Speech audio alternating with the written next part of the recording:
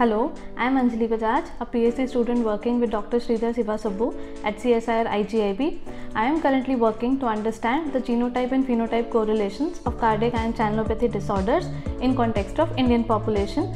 Uh, so using IndiGenome uh, dataset that was previously published by our group, we estimated a genotypic prevalence of ion channelopathy disorders as 1 in 54. That means out of every 54 healthy Indian individuals, there is at least one uh, person carrying a pathogenic or likely pathogenic uh, variation in a channelopathy uh, disorder associated gene. So owing to such high uh, prevalence, we are now currently developing a high throughput uh, assay to do population based screening to identify individuals at risk and to reduce the public health burden.